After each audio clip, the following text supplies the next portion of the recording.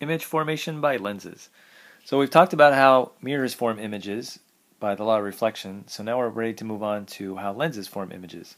If you look at this image on the left, uh, here we have a convex lens. We're looking at a pine tree, but yet in that lens the pine tree looks upside down and smaller.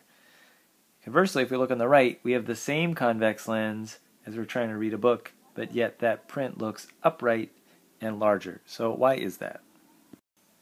Just as we had convex and concave mirrors, we also have convex and concave lenses. So if we look at these lenses right here, we can see that convex lenses converge light to a point, and we call that point the focal point. So convex lenses converge light. If we look at concave lenses, here we have parallel light rays coming in, and these parallel rays actually diverge. They spread out. So a concave lens does the opposite of what a convex lens does. Three rules for ray diagrams for lenses. So we had these same three rules for ray diagrams for mirrors. They look very similar for lenses, except we just have to interpret them a little differently because light doesn't reflect by a lens, it refracts through a lens. So rule one is an incident ray parallel to the principal axis will refract through the focus. Rule two is an incident ray through the focus will refract parallel to the principal axis. And rule three, which is a rule we didn't really do for mirrors, but will be very easy for lenses, an incident ray through the center of the lens just goes straight through the lens. Now, why do these rules work for lenses? That's because of Snell's law, the law of refraction. Since light rays refract and bend, Snell's law will tell us that these light rays, parallel through the focus and through the center, will behave accordingly. So let's apply these three rules for ray di diagrams if we have an object standing beyond the focus of a convex lens. So let's first draw in our principal axis. Now one thing different for lenses from mirrors is that lenses have two focal points, one on each side. So let's label this as a focus here and a same focus on the other side at the same distance and there's the other focus. So let's put our object, maybe it's you, standing in front of this lens and let's follow those rules. So if you look back in your notes that you just took, you can see rule one is a ray parallel to the axis, to the lens. This will refract through the focus on the other side. Remember, light's going to go through the lens. Now let's take rule number two, which is a ray of light through the focus will refract parallel. Well, we already used this focus right here, so we can interpret rule 2 to take a ray of light through this focus here. So let's draw that in. A ray of light from your head through the focus will refract through the lens parallel to the axis. And we will draw in rule 3, which is a ray of light from your head goes straight through the center of the lens and keeps going straight through. Now you can see all these rays really do meet on the other side of the lens, and here we can draw in your head and your feet to the axis. And we see that you're upside down and smaller, we, images like this we've seen before with mirrors, we call those real images because there's really light there. Next, let's put the object inside the focus. So we'll draw the principal axis again.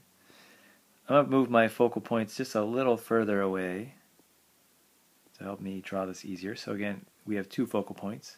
So we'll put you inside the focus now. And let's follow our rules again. So rule one, a ray parallel to the axis. This will refract through the focus over here. Uh, rule 2 is a ray from your head through the focus. But remember, we just use this focus, so we have to use the other one here.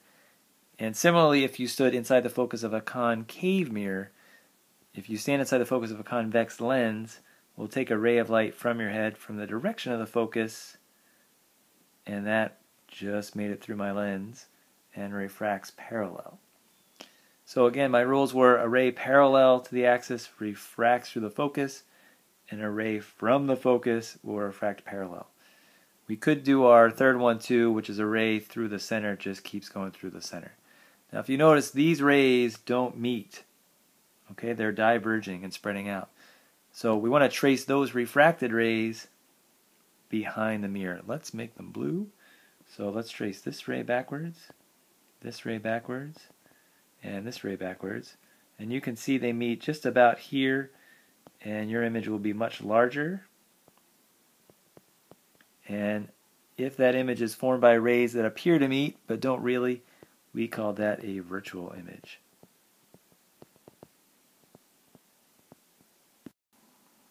How does the lens of your eye work?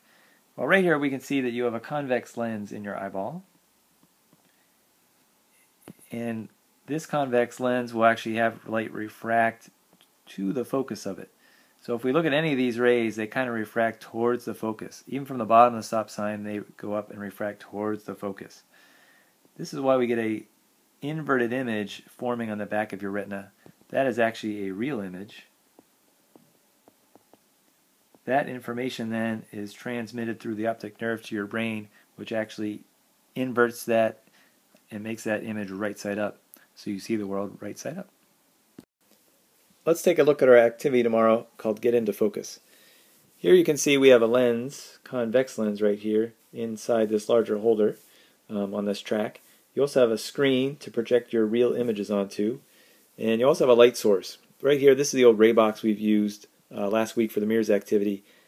You may actually have a candle here tomorrow as your object. So first thing you want to do is set up that object a certain distance away from the lens. So you'll have a DO, a distance to your object. You also have a height of your object here you'll measure as HO, which will actually be the height of your candle. You also have to determine what the focus of your lens is, what the focal length is, so that's going to be F. So those, will all be known values. You'll need to move your screen back and forth to get that image nice and clear on the screen. At that point, we'll call this the distance to the image, or DI. Through some mathematics, you can figure out what the height of your image will be, or HI. Now those same equations we used for mirrors, we will apply those to lenses in our activity tomorrow. Okay, thanks.